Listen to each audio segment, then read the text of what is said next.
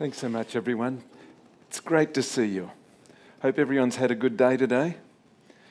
I've got to tell you, coming to Brisbane is a real thrill. When I was a kid, coming to Brisbane was like coming on a holiday. We used to come up here, and um, my mum used to love shopping. And we've spent at, at Garden City, I don't know, we used to come up here. I was, am I showing my age?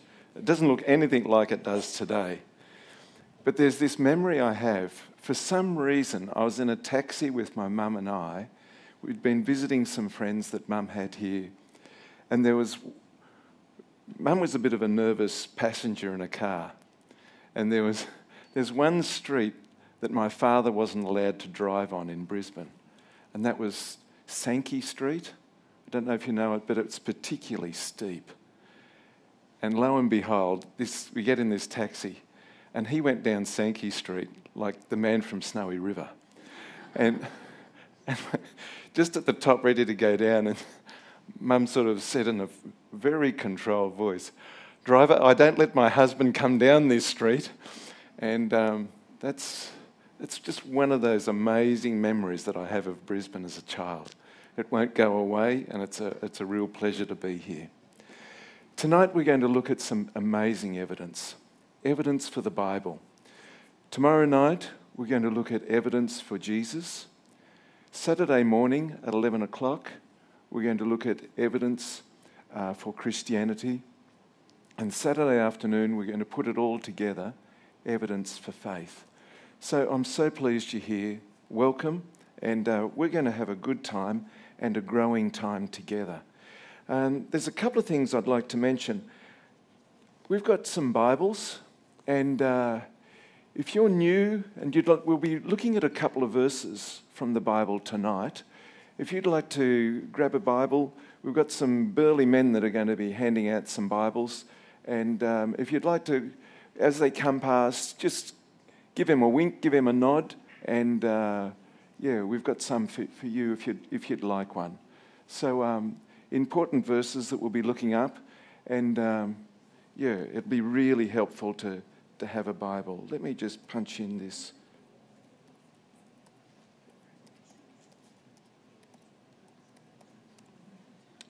Okay.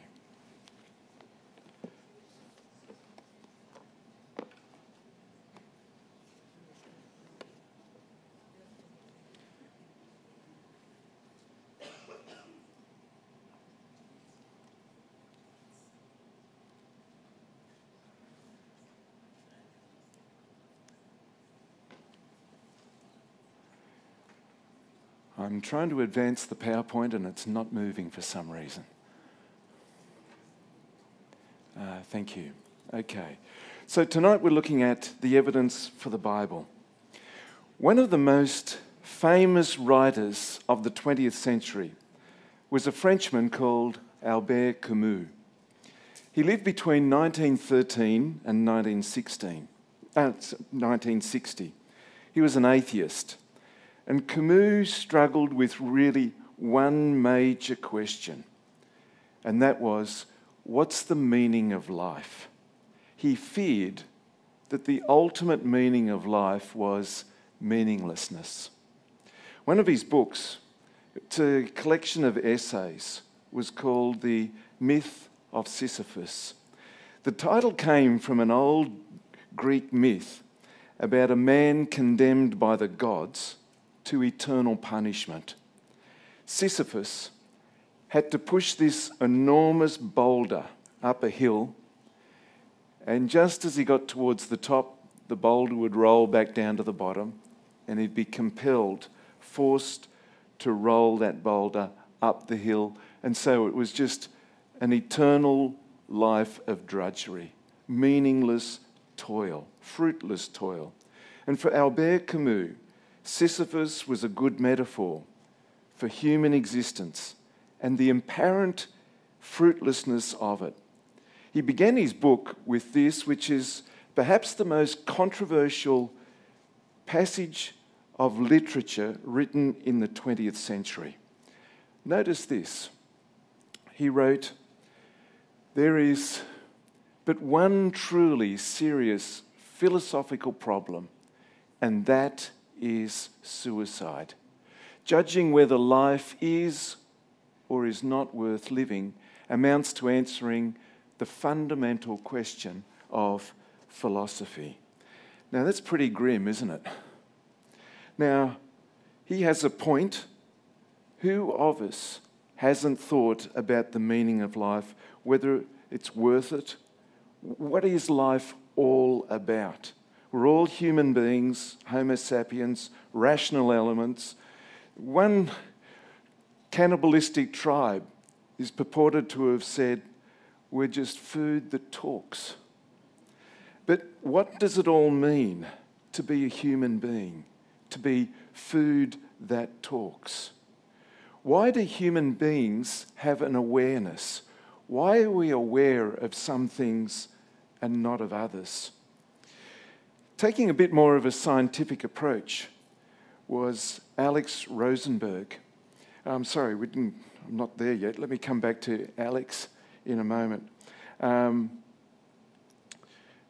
a Norwegian, Karl Ove Knausgård, he also wondered about the meaning of life.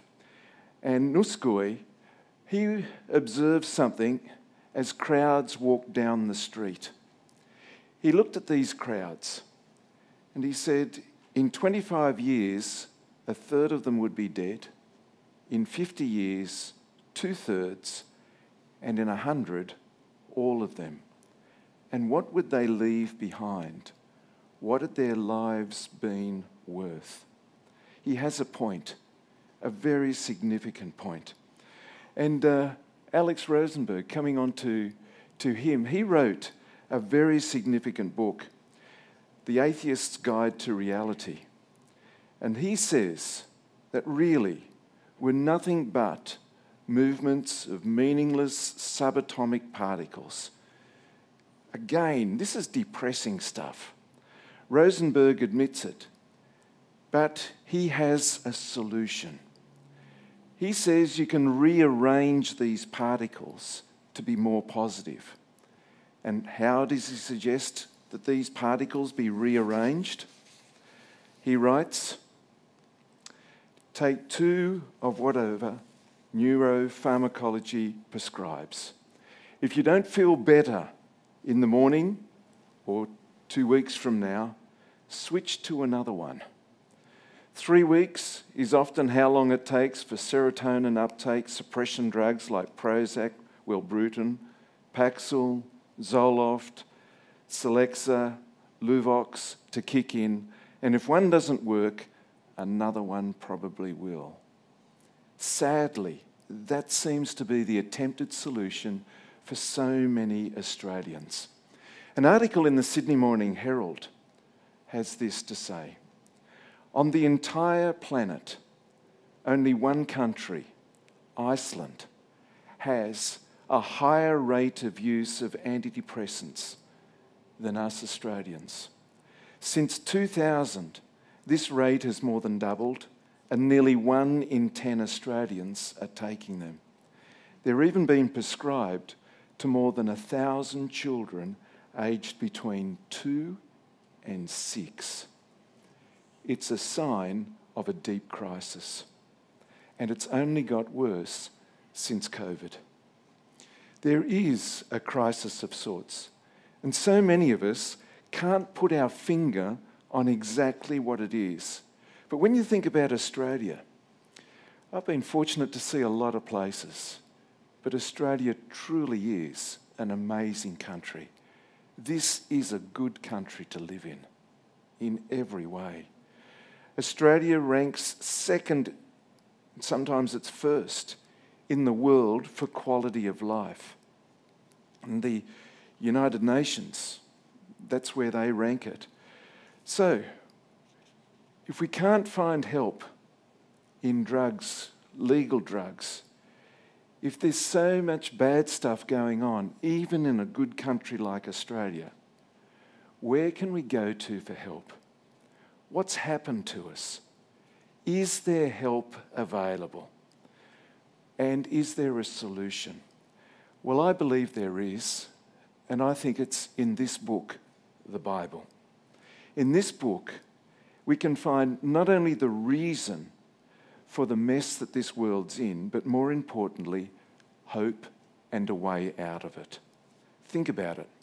When you buy a product, oftentimes what comes with it is a set of instructions, like a manual.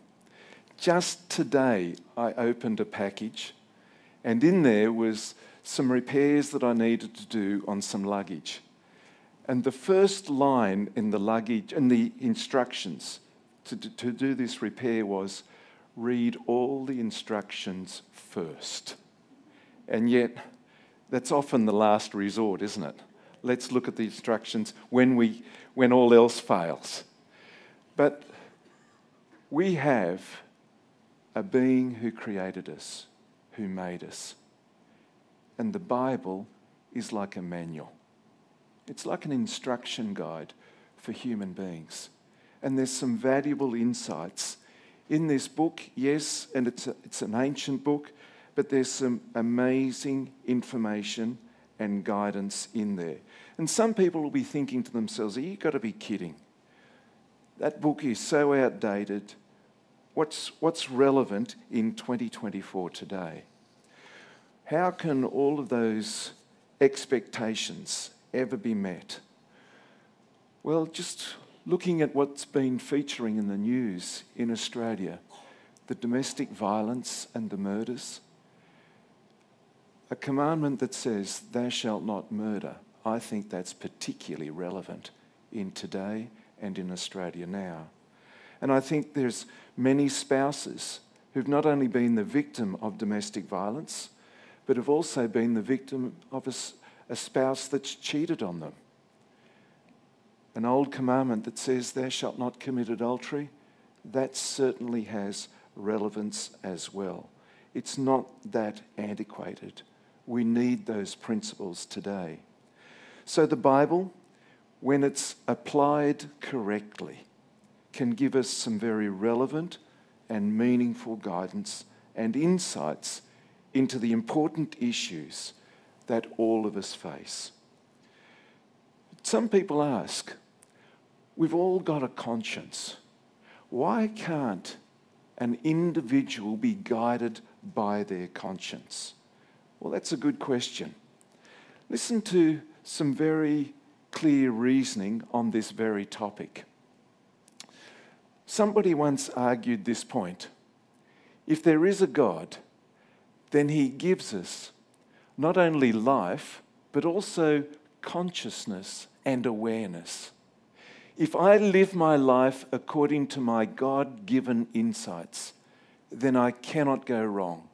Even if I do, I know that I have acted in good faith. Well, this sounds reasonable enough, doesn't it? Fair enough? Well, who said these words? It was Adolf Hitler.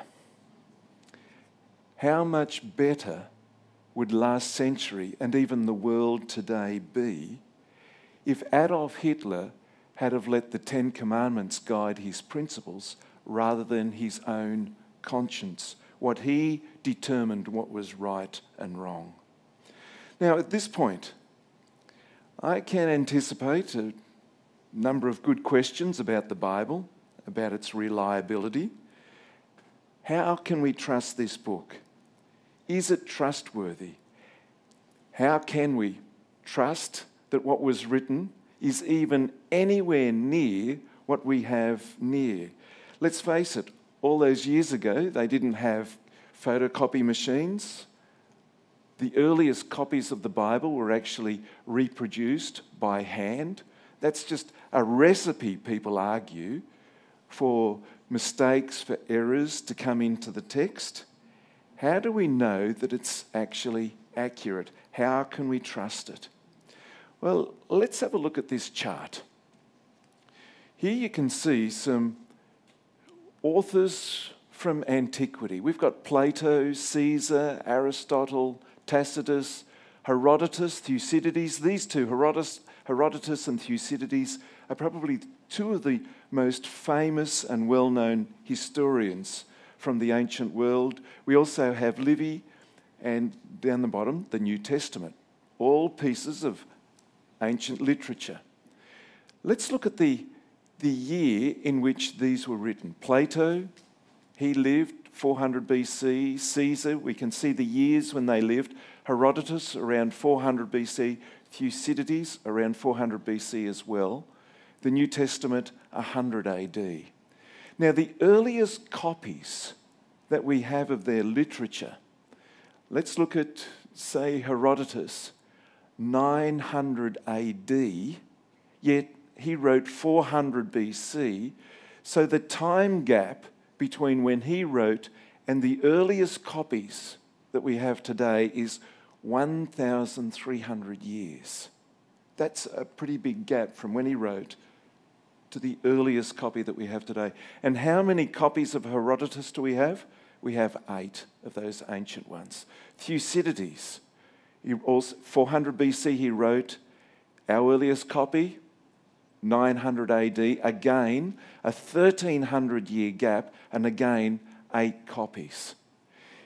We're, we're fortunate to be into double digits with the number of these early copies.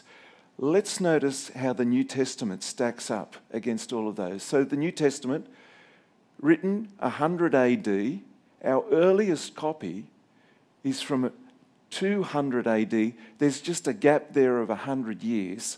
And how many copies of these early manuscripts do we have?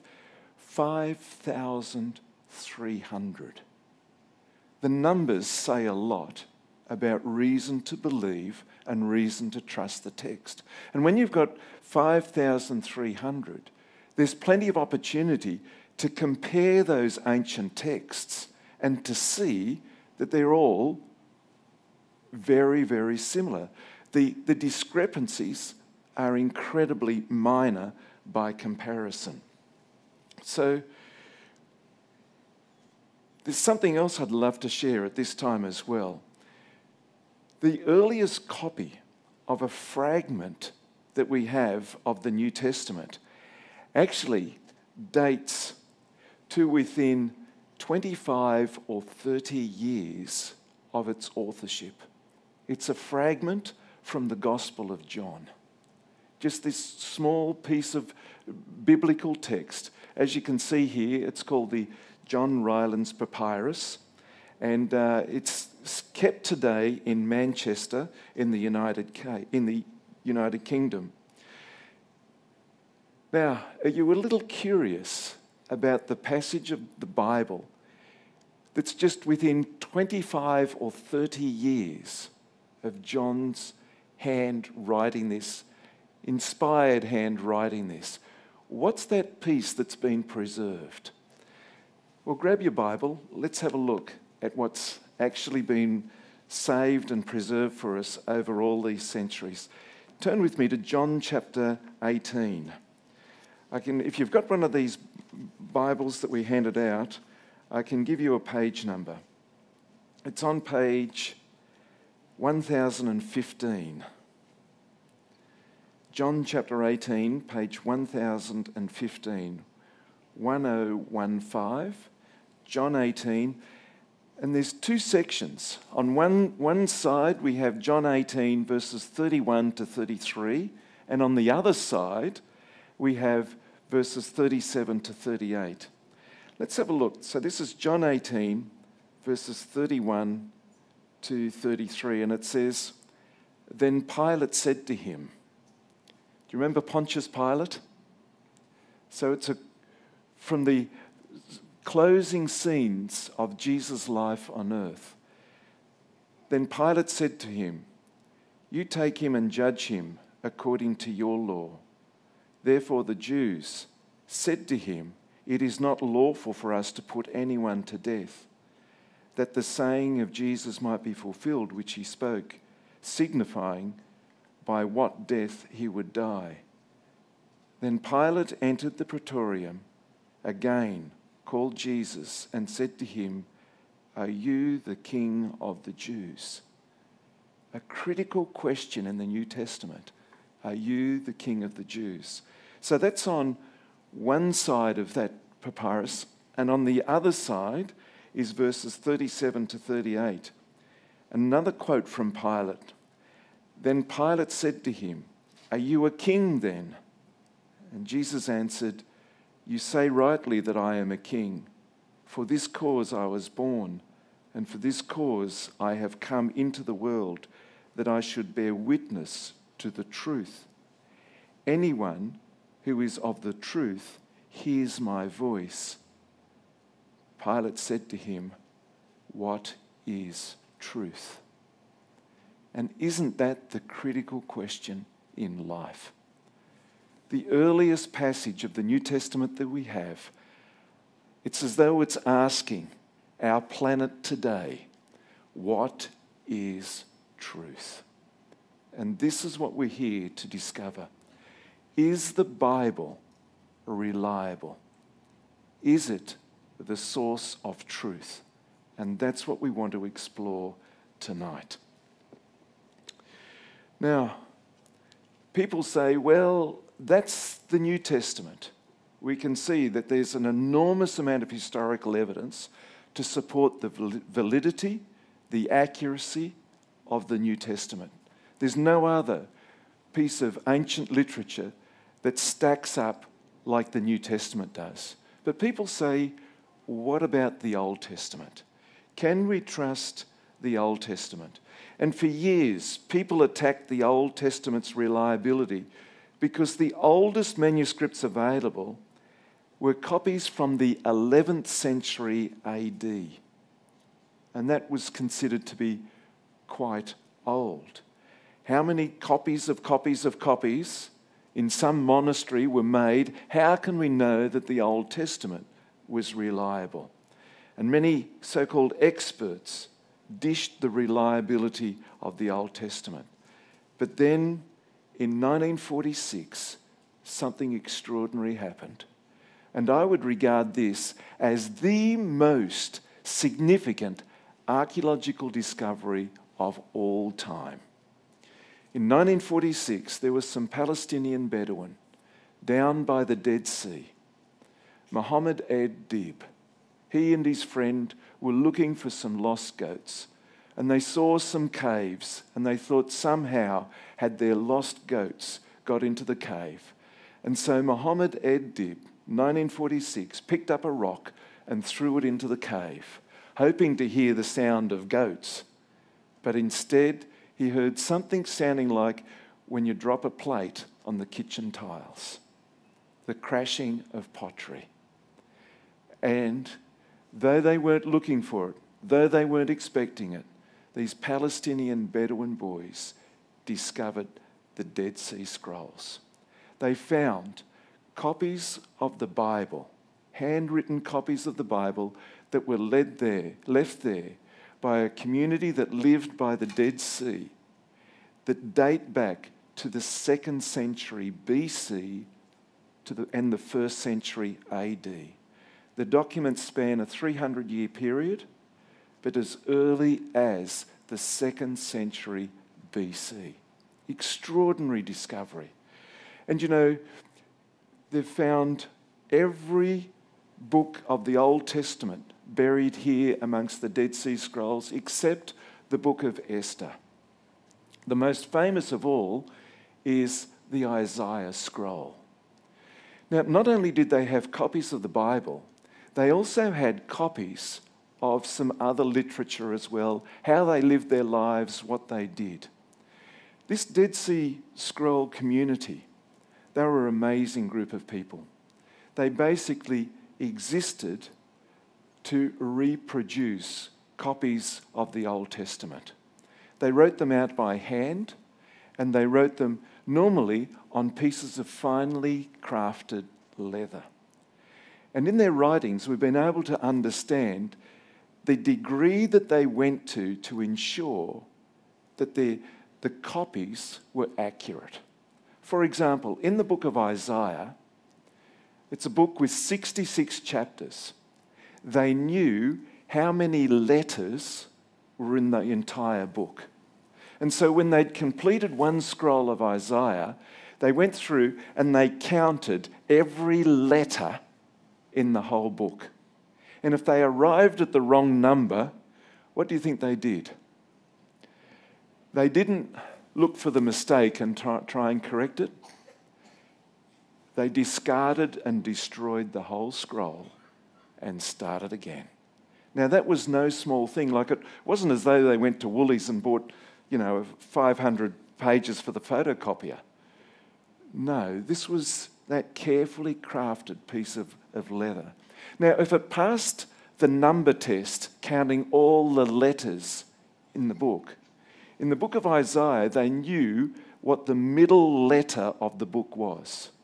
And so they would start with the first letter, the last letter, and they would sequentially move in. And if they arrived at the wrong letter, what do you think they did? Discarded, destroyed the whole scroll, and started again. This was the degree, the level that they went to to ensure that the text was copied accurately. They did their work well. So well, in fact, that we can compare our Bibles today with the Bibles that were copied from as early as 200 BC, the Old Testament. And again, we can see that this book has been amazingly well preserved, extraordinarily well preserved. So, this is just some of the evidence that there is to to trust this book, the Bible. Just some of the evidence. Now, other skeptics have raised issues. People have said, well, 36 times the Bible refers to um, a group of people called the Hittites, but either in the plural or in the singular. Let's notice what Bryant Wood had to say. He said there was a time when historians scoffed at the name Hittite or Hittites in the Old Testament since it was not known outside the Bible. So the Bible refers to these Hittites. And for a period, there was absolutely zero archaeological evidence of the Hittites. Nothing in literature had been discovered about them. And so people ridiculed the Bible as though when they referred to the Hittites, that the Hittites were just a myth. Well, that all changed with the discovery of a major site in Turkey today. In Turkey today, you can go to a place called Hattusas, and there you find the capital of this enormous Hittite nation. It's a large place. Perhaps some people have travelled to Turkey and seen this. Um, it really is a major tourist uh, site today. And there you can see where this enormous capital, the Hittites had an empire, and you can see the enormous area that they had, some of their old buildings here, their carvings in stone, and so forth.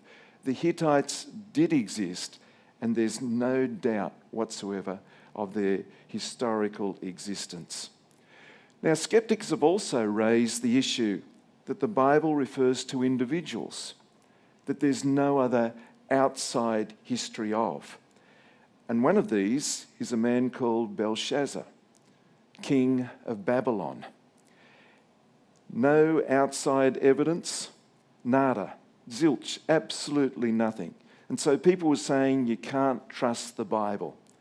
Well, guess what? numerous archaeological finds did, in fact, find references to Belshazzar, king of Babylon. There you'll see um, Nabonidus' chronicle, Nabonidus' cylinder, and um, yeah, even Rembrandt painted pictures of this, of this guy. And uh, there's others beside, there's, there's many more we could go into. But people ask this question okay, if the Bible's accurate, what does that prove? It just proves that the Bible has some accurate details in it. But why is that significant? How is that important to me today? How does that even suggest that the Bible is divinely inspired? People will say none of this proves that it is God's instruction book for humanity? Is there any evidence of any supernatural insights that come from the Bible? Well, I think there is something very significant in the Bible that does confirm some supernatural sources, and it's this it's prophecy. In the Bible, there are some amazing prophecies. Tonight, in just a few minutes, we're going to look at an amazing prophecy from the book of Daniel.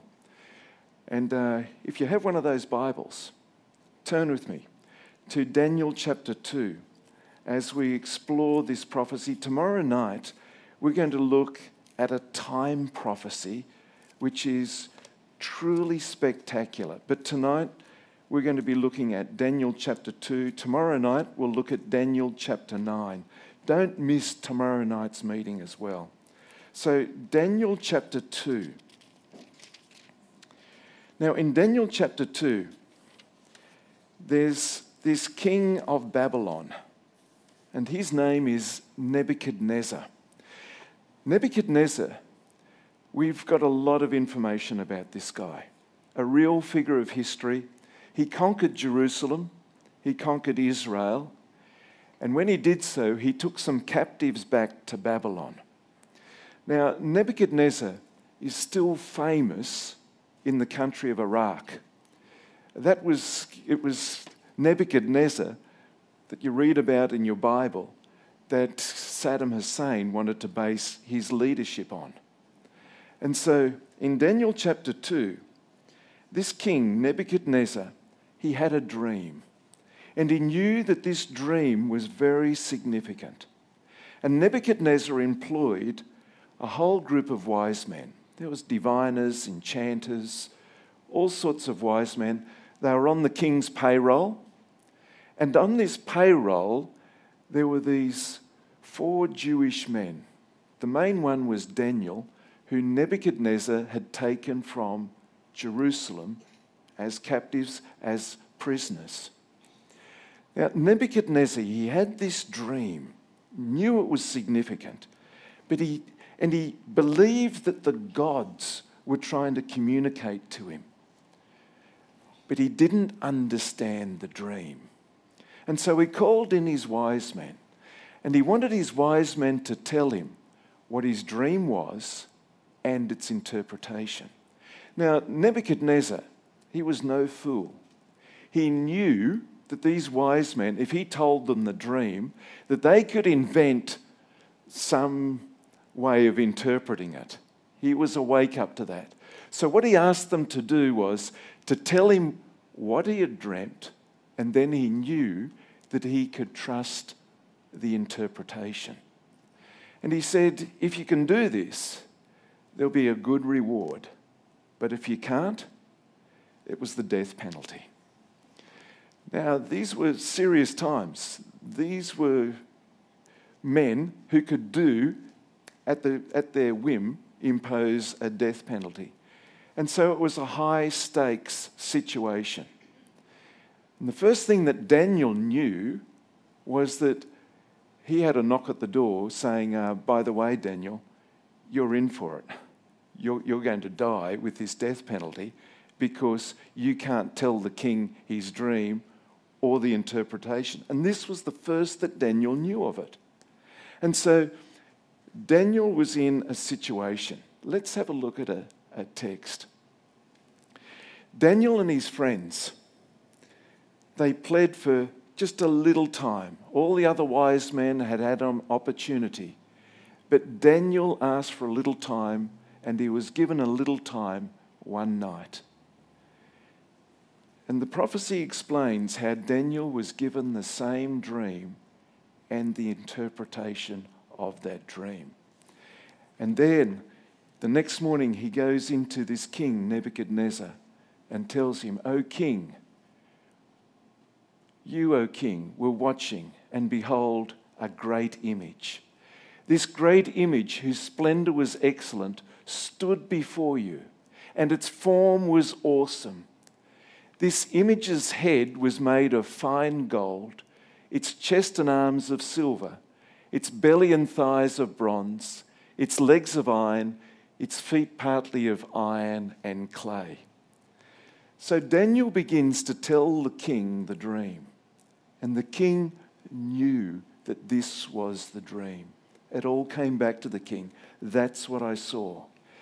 Daniel described it exactly a huge statue with a golden head, silver chest, silver chest and arms, bronze belly and thighs, and iron legs and feet made of iron and clay.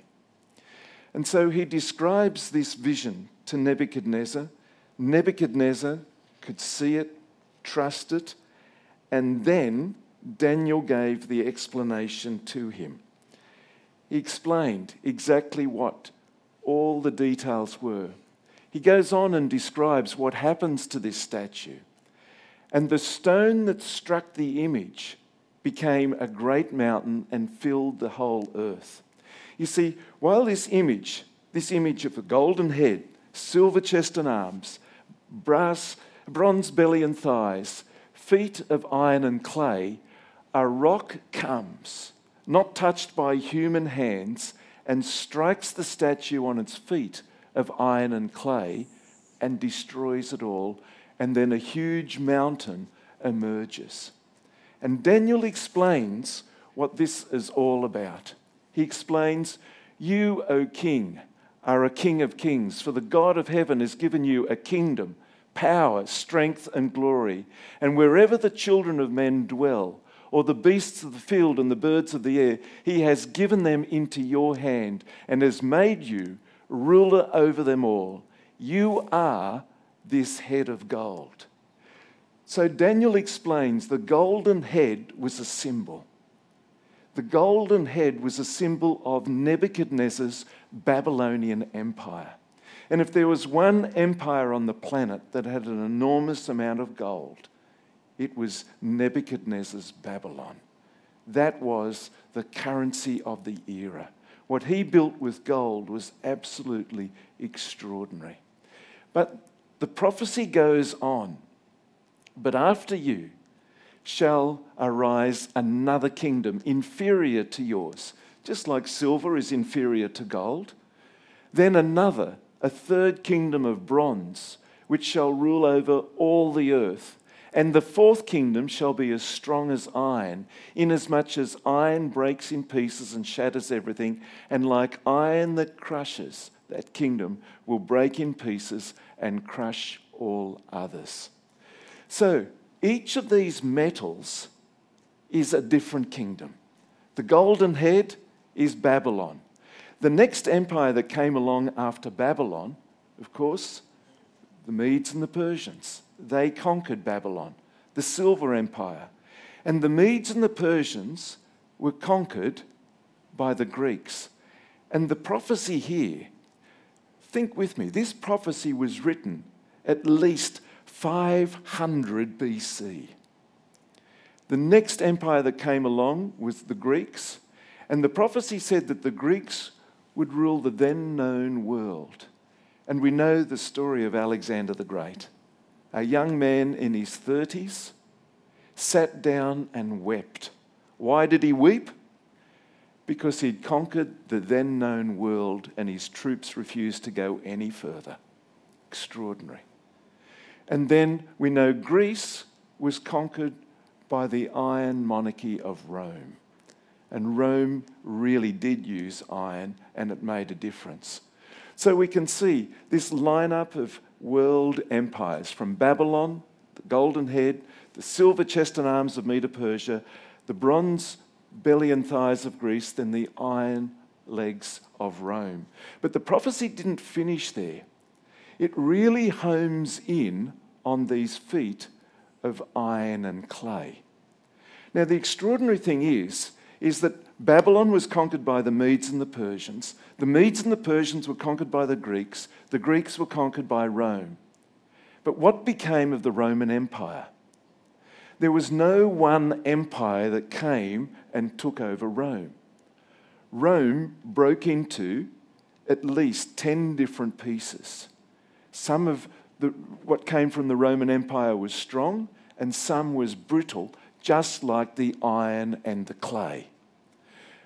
And we've got these feet of iron and clay. And the prophecy actually explains it for us. Its legs were of iron, its feet partly of iron and partly of clay. Let's see.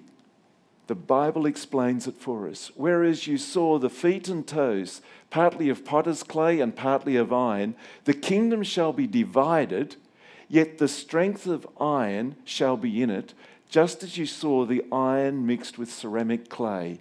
And as the toes of the feet were partly of iron and partly of clay, so the kingdom shall be partly strong and partly fragile. And you know, when you look at time, and particularly Europe, where the, the Roman Empire was, and you look at Europe today, you will see some strong countries there like iron, and you'll see more brittle countries like clay. And the prophecy talks about how they don't stick together. And the extraordinary thing is, is that since the fall of the Roman Empire, many people have come and tried to unite Europe. Many people. Charlemagne did, tried to, but he failed. Louis XIV of France, he tried to unite Europe and failed. Napoleon tried to unite Europe, he failed.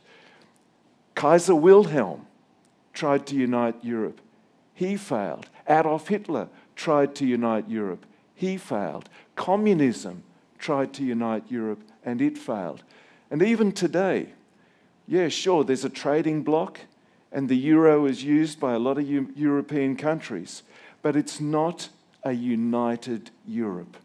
There are still individual nationalities and still major differences between the countries. And if you really want to see the differences, just put on a game of soccer, folks, between two European countries. They can't even let the two different countries, the crowds, sit together. No exaggeration. One country is at one end of the ground, and the other country is at the other end of the ground, and they've got security between them, keeping them safe. They travel on different roads, different trains, different buses to get to the game and they leave on different roads, different trains, different buses to go home. You can't say Europe is a completely combined entity today. There's still a lot of differences today. And yeah, even soccer proves that. And here's the extraordinary thing, folks this prophecy was given 550 BC. 550 BC. This prophecy, it was found amongst the scrolls of the Dead Sea Scrolls. It's not something that's just been invented in the last 50 years, and it's well known. Extraordinary knowledge about this. There's some bonus material I want to share with you just towards the end, which is really quite amazing about the fulfillment of this prophecy and how well known it is. But the key point is, is that for two and a half thousand years, this prophecy has come true in every way. And it comes from your Bible, this old book. It is trustworthy, it is reliable, and the prophecies make that point very, very clear. But the prophecy doesn't end with just a divided Europe, the iron and the clay. There's this rock that comes and strikes. Let's follow through. It says, And as you saw, iron mixed with ceramic clay, they will mingle with the seed of men, but will not adhere to one another, just as iron does not mix with clay. And you know, when you, when you look at the royal families of Europe, the way they've interbred with each other, it really hasn't produced a united Europe. At the start of World War I, they were pretty well all grandkids of Queen Victoria, and that didn't stop World War I. And even today, it's not the, the seeds of the monarchies that are mingling together, it's across all of those nations. There's the intermarriage that's taking place, but that still isn't producing a united Europe. But let's look at this rock, this rock that comes and strikes the statue on the feet. And it says, And in the days of these kings. It's talking about, in the whole statue, the time of the feet, the iron and clay. This is talking about our era. And it says, In the days of these kings, the God of heaven will set up a kingdom which shall never be destroyed, and the kingdom shall not be left to other people. It shall break in pieces and consume all these kingdoms, and it shall stand forever. So, this prophecy isn't finished yet. There's something that perhaps we might see in our lifetime. It promises the setting up of a kingdom, not led by man, but led by God. And so we are living in an extraordinary time in Earth's history where we are seeing prophecy fulfilled, and we may even see in our own lifetimes more amazing aspects of this prophecy being fulfilled as well. Let me come back to the man that we started with this evening, Albert Camus. You see, there was an American pastor he was serving in France, Paris. This American pastor was pastoring a major church in Paris. His name was Howard Mumma. And Howard was preaching away in this church in Paris. And one day, a visitor came into the church. And this visitor came back week after week after week. And Howard, the pastor, struck up a conversation with this visitor. He began to have Bible studies with this visitor. And then some questions were asked. This visitor said, The reason I've been coming to church is because I'm seeking. I'm almost on a pilgrimage, seeking something to fill the void that I'm experiencing, and no one else knows. This visitor was coming very secretively. He wasn't telling anyone other than the pastor who he was and what this was all about. He asked him another question one day. He said, Howard, do you perform baptisms? And Howard says, Yes, I do. And then the visitor asked, What's the significance of baptism. What does this rite means? And Howard, the pastor, explained what baptism means. And then the visitor said, Howard, I think I'm ready. I'd like to be baptized. This is what I'd like to commit my life to. Who was this person? It was Albert Camus, that famous atheist. At the time, he was the most famous atheist on the planet, but no longer an atheist. But tragedy struck Albert Camus. Within days of his planned baptism, he was killed in a car accident. He was never actually baptized, but he had made a very significant decision in his life. And so tonight, I'd like to ask you what about you? The evidence that we've seen for the Bible tonight, does it make sense to you? Has it been clear?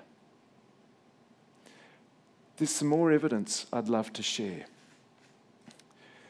That old prophecy from Daniel chapter 2. Let me share with you a brief story. This is bonus information. If you go to France, in France today, there's a city called Metz, M E T Z. In the early 20th century, it was actually part of Germany. And around the start of World War I, this enormous cathedral, which dominates the whole city of Metz, it needed a new lead roof. Can you imagine how much the roof would cost to replace that, all lead? The people in the city didn't have enough money to pay for the new roof. But there was a man who had an enormous amount of resources and wealth that heard about this, that wanted to help. It was Kaiser Wilhelm the monarch of Germany. And he said, I will fund the new roof for the Metz Cathedral on one condition. And his condition was this He said, At the front of the cathedral, there are four life size statues of Bible prophets. He said, There's a life size statue of Daniel. And Kaiser Wilhelm said, if you take Daniel's face off the statue, and Kaiser Wilhelm said, if you put my face there in its place, I'll give you the money for the new lead roof. And he said, because I'm going to prove Daniel's prophecy wrong. I'm going to unite Europe. And so the parishioners, they took Daniel's face off and you'll see the remarkable resemblance today of Kaiser Wilhelm's face there on the body of the statue of Daniel. But interestingly enough, Kaiser Wilhelm didn't unite Europe. That old prophecy of two and a half thousand years ago of iron and clay not binding together, some countries being stronger, other countries being brittle like clay, it still stands the test of time. Adolf Hitler, he heard about this. And he wanted Daniel's face put back on because he said, I'm going to prove Daniel wrong. And Adolf Hitler, with an army of five million men, couldn't unite Europe either because this old prophecy has stood the test of time. And to me, a God that can accurately predict the future and record it so that we can read about it two and a half thousand years ago. He's sending us an important message about this book. He's giving us evidence today that we can trust. Now, we've got a clip that I'd love to share with you. This is for those who would like more evidence. We've got these we've got the meeting tomorrow night, the evidence for Jesus Christ. Saturday morning at 11 o'clock, evidence for Christianity. Then we're going to have a lunch break, and then straight on in the afternoon, evidence for faith. But next week, we're running follow on programs, more evidence. Let's have a look at the clip, and, uh, and we'll come back to you.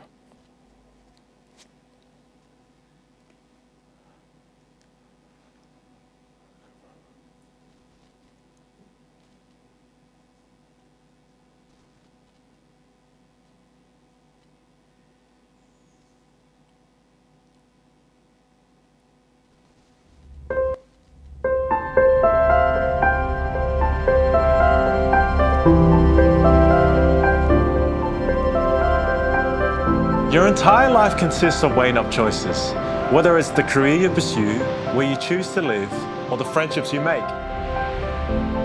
But then there's always a thought do these things really make us happy?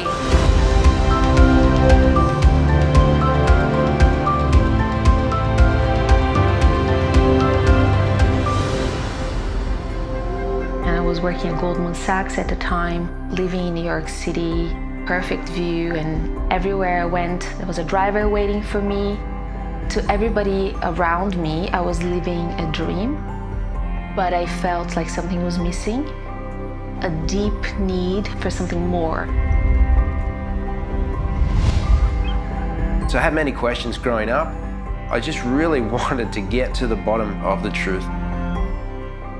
I knew that there was something looking after me. In fact, I called it the thing. I'd say to people, the thing's happening.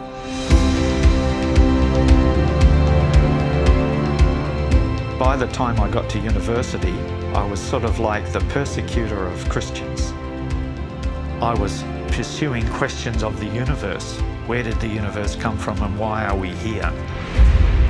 My head is like in turmoil, and after I prayed, it all ceased. There is a purpose for life. When Jesus found me, that's when my life began to change. I just felt this, just a heavy load was lifted up off of me. It's the most beautiful thing about the gospel of Jesus Christ.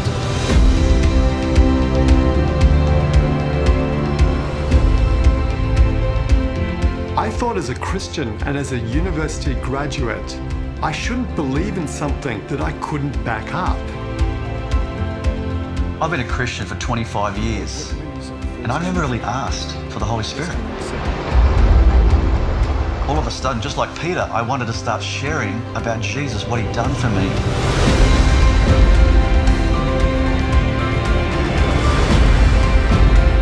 I hear this voice. All I need is your time. I created time. I can get everything done that you need done if you give me your time first.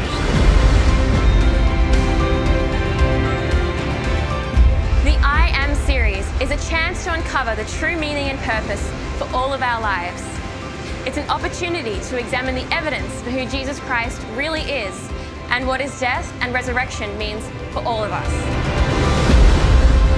Join us as we explore the difference that Jesus can make in our lives. Register at iam.org.au.